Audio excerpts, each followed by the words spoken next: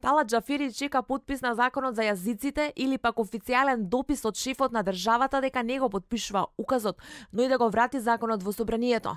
На Иванов му одброја дека рокот според неговото толкување истекува вечерва.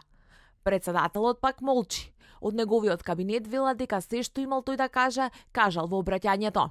Джафери не сака да кажа детали дали неговиот план Б е откако ќе помина рокот кој вели иако не е прецизиран, е аналогија на предходниот кога председателот има 7 дена за да го подпише указот за прв пат, тој да стави двоен подпис на законот за јазиците, особено затоа што ваков случај веќе еднаш паднал на уставен суд.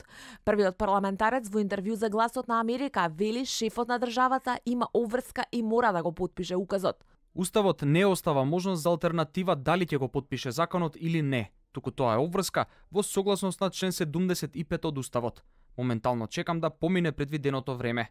Доколку во првиот случај предвидениот рок е 7 дена, со аналогија и во овој случај треба да е исто. А поради тоа што произлегува како обврска и обврската нема рокови, и Уставот не предвидува рокови за применување на истото значи дека тоа е негова уврска. Од мнозинството вела дека Иванов може да заработи кривична пријава за прекршување на уставот доколку не го подпише законот, дека власта во моментов нема решение за законот да влезе во сила. За телевизија 24 брифира висок партиски функционер на СДСМ.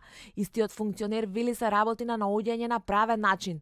Порачува дека за нив не е решение двоен подпис на Џафери. На првиот парламентарец му порача дека тие нивното го направиле, гласале за законот, а останатото е вели негова обврска. И додека мнозинството најавува кривична за Иванов, опозицијата се уште не ја поднела нивната за Джафери.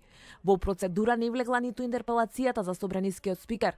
Таа според ВМРО ДПМН зависи од нивното враќање во собранието. Толкувањето на дел од правниците дека законот со двоен подпис на Джафери може да влезе во процедура само во случај на смрт на председателот или пак доколку тој се прогласи за деловно неспособен. Во 97-та, тогашниот председател на собранието Тито Петковски ставил двоен подпис на законот за знамињата, бидејќи тогашниот председател Киро Глигоров бил на пат. Уставниот суд следната година го укина луказот.